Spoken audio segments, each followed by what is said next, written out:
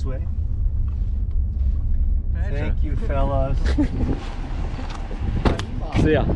Love you, buddy. Love you. Safe travels home. Yeah. That's good shit. I need my backpack. I'll get your backpack in the back. No deck. Until Until next, until next time. Until next time.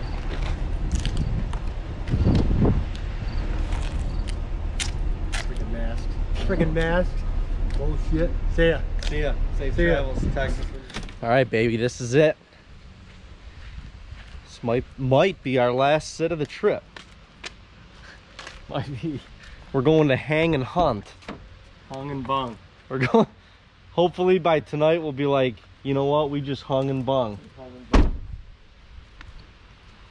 We're going to hang and hunt tonight. It's been an awesome trip. We got to hunt with Kane for like four days for sure. My dad got to hunt with them a couple days after that. My dad and Uncle Jay came. They got to experience North Dakota for the first time, which was sick. And now Dean and I get to go and just get after it together. We have not been in a tree together. We haven't hunted together the entire trip. That's crazy. We have not hunted together the entire trip. Last day, we're going to hunt together. We're going to hike in a couple stands, probably three quarters of a mile, maybe more. Couple stands, hang them, get in a tree, set up the tree arm. We got a bunch of gear to lug back there, but that is just, that's what we love to do. Just go and get after these deer. Just go get after them. We got pictures of a good buck this morning. I mean, literally, we set up this camera, and when we got the first pictures of a deer, they were coming up over this hillside, and it was a doe. And Dean and I were like, man, it would be sick if right at sun sunrise, a buck came over that hill, skylighted with his rack just in the orange and yellow and red sky lit up. And it hasn't happened since we set up that camera almost a month ago. And this morning we woke up to those pictures. We also left my dad at the airport yesterday and his last words were go back to your roots. And so we're going back to the original killing tree that started this whole North Dakota fiasco. We're going back to that same area and we're going in to hang and hunt and whatever happens, I'm good with it.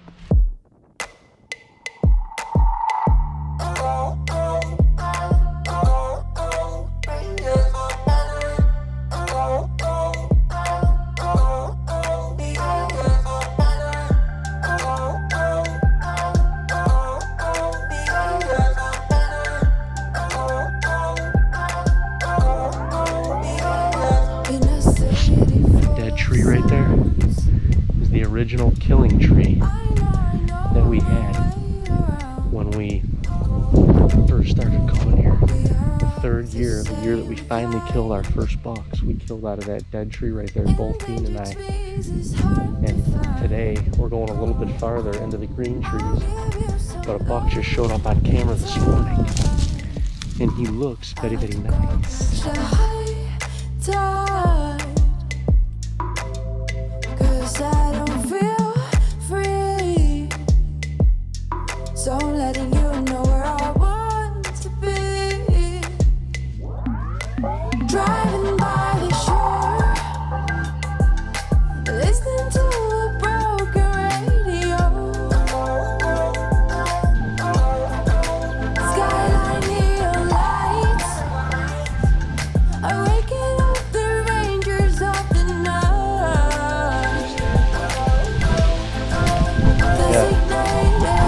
Yeah, let's just do it. Let's do try this.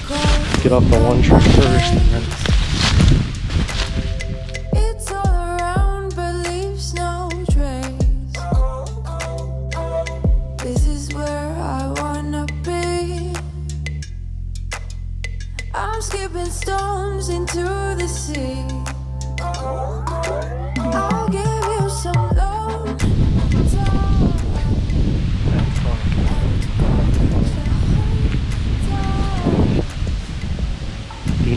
these two stands in the tree. We've kind of done it in a pretty quick amount of time. This is where we wanted to be to check this buck out that we have trail camera pictures of this morning. Typically when they're in an area in daylight in the morning, it's the first place they'll come to and check back into in the evening. Likely bedding close. We have a perfect wind for this spot. Bedding in that slough system over there by that lake, or the slough system that fingers through this little saddle right here, and over that hill there's another lake. So he's likely bedding in the first in one of those two.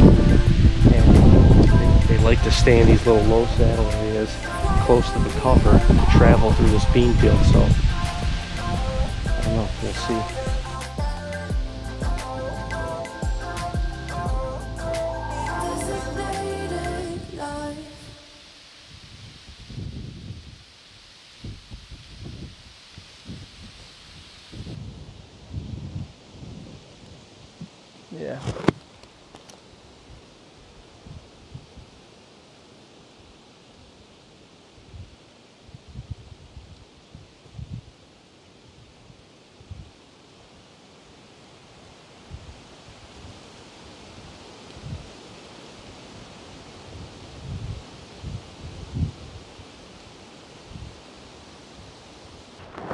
Just looking right up there.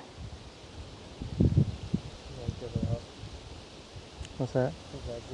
I don't know. He's just kind of.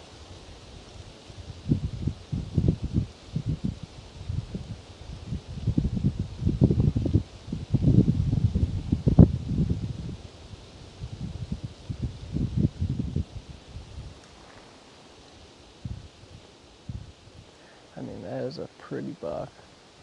Like, that's a sweet looking buck, but he's just. I don't know what to do. I want to shoot him. Like I want to shoot him, but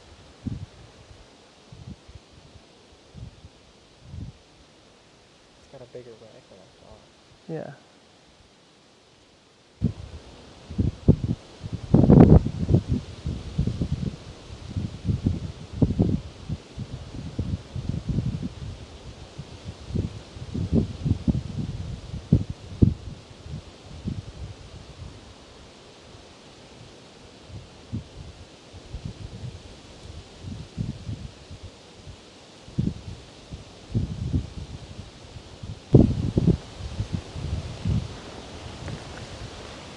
He's acting like an over deer.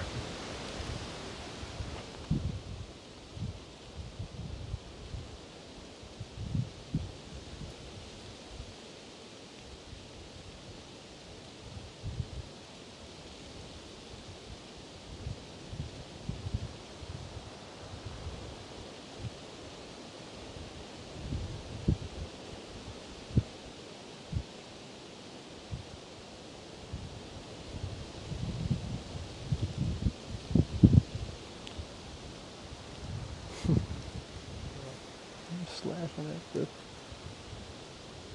he come back? Oh, he's still standing down there.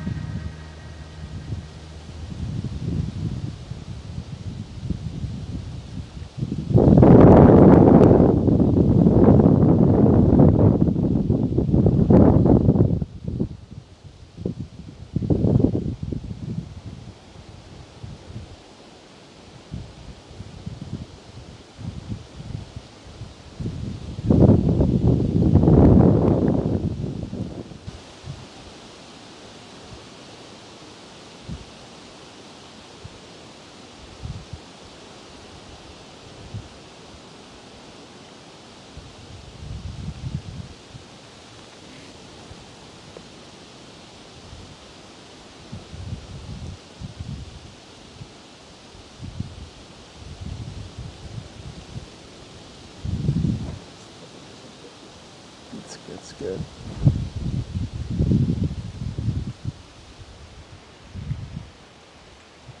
Man, that is ridiculous. That's ridiculous. I mean,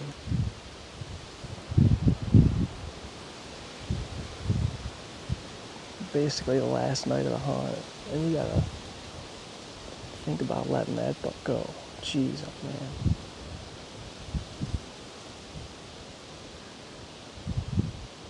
That one split is nice. Nice split.